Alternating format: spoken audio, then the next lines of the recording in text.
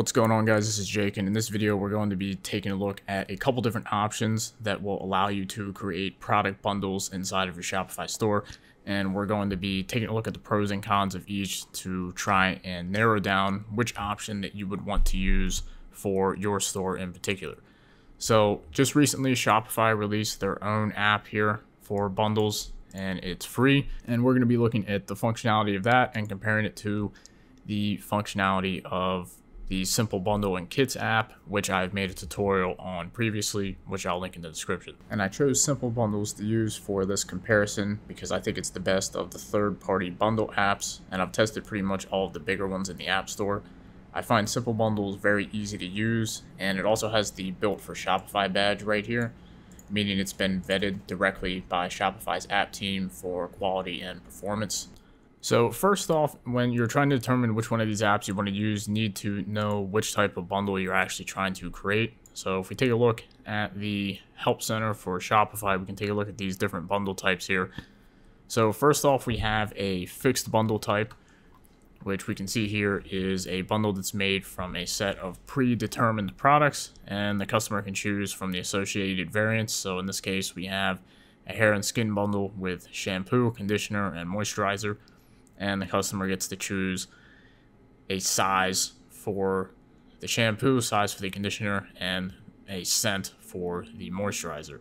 The second type of bundle we have is a multi-pack, which is a fixed bundle with more than one of the same product. So we can see this bundle here is a three-pack of shirts where you get to choose three different shirts in three different colors, but they're locked into a size medium in this case.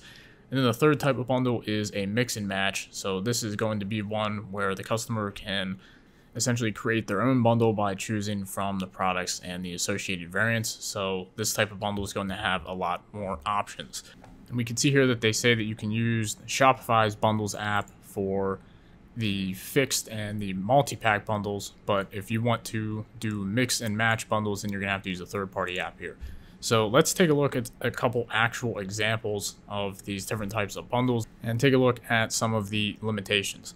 So if we open this bundle up here, we can see that I pretty much duplicated the bundle that they used in the example right here, which is a three pack of shirts where you can choose between different colors.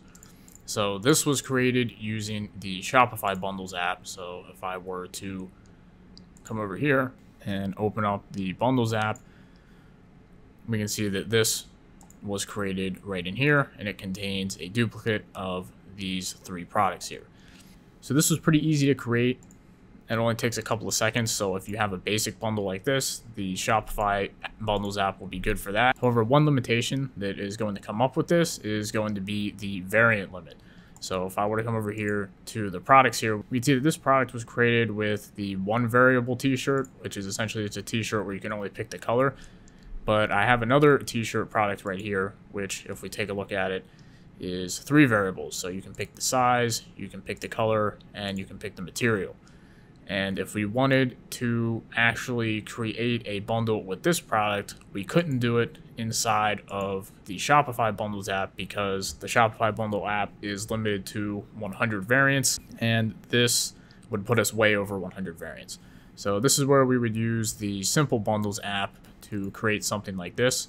So we're going to take a look at this bundle product, the t-shirt 3-pack 3 variables, which was created with the Simple Bundles and Kits app, which we can see is the same 3-pack, except now we can choose between different sizes, colors, and material for each one. So we have shirt 1 size, shirt 1 color, shirt 1 material, shirt 2 size, color, material 3, etc. So if you have products that have a lot of variants, then you're going to be better off using the Simple Bundles app because you're going to run into that variant limit very quickly with the Shopify Bundles app. Another limitation you might run into with the Shopify Bundle app is if you are trying to create a bundle with more than 10 different products, you're not going to be able to. So you can only create bundles with up to 10 products. So if you want to create a larger bundle, then you'd have to use the Simple Bundles app. So we can take a look at what this bundle actually looks like inside of the app. So if I opened up the Simple Bundles app and we take a look at this bundle here, we can see that this is an infinite options bundle, which means that essentially there's no limitations to how many variants or products you can put inside of the bundle right here. So we can see we have product one with the three options and all of the variants. We have product two and product three. And if we wanted to add more to this bundle, we could just by clicking on add products or add products with variants. And like I said, there's no limitation on these bundles here. So if you want to create a really complex bundle, then you're going to be much better off using the Simple Bundles app.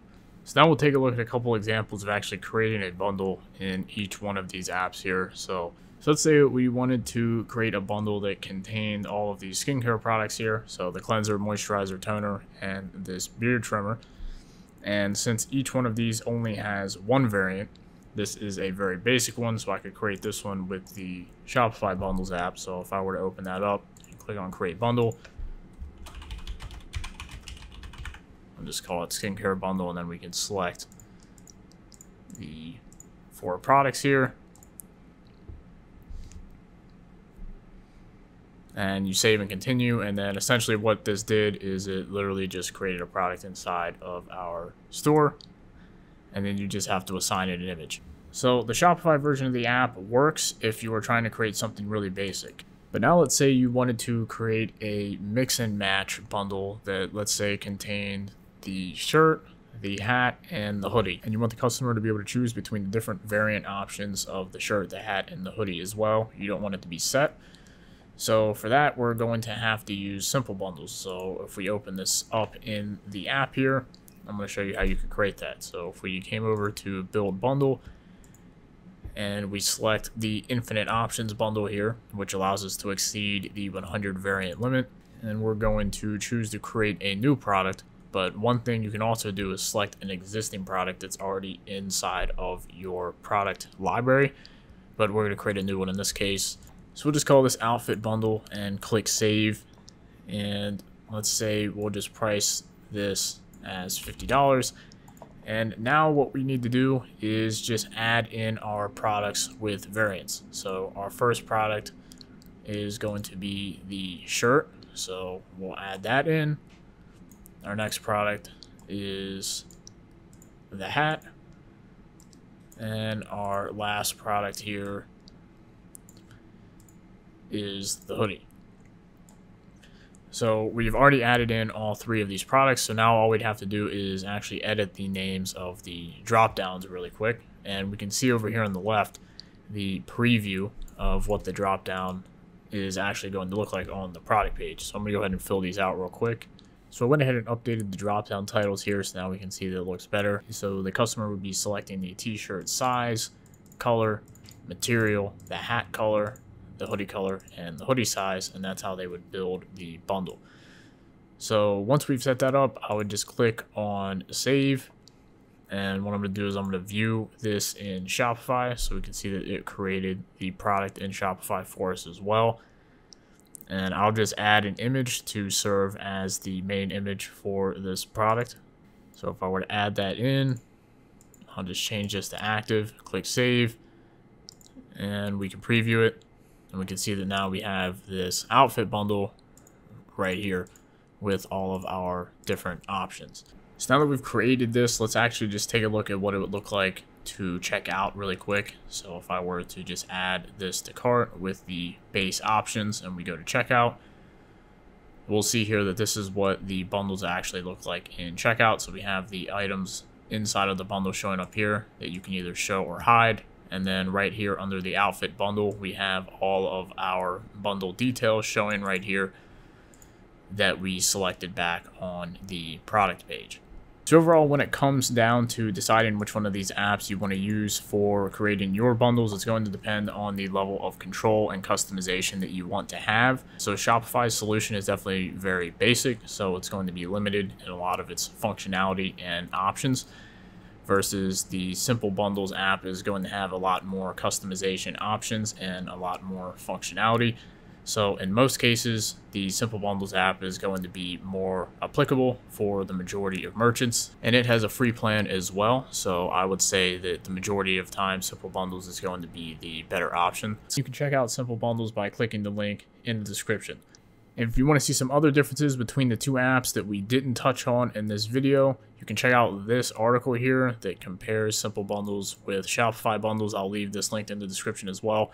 And one other important thing that I would like to note regarding both apps is that the Shopify bundles app only works with the online store sales channel. So if you're using point of sale or any other sales channels, then you're going to want to use the Simple Bundles app as well because it's going to be compatible with sales channels outside of just the online store. So with that said, if you did enjoy this video, be sure to leave it a thumbs up, subscribe to this channel for more videos, and I will see you guys in another one.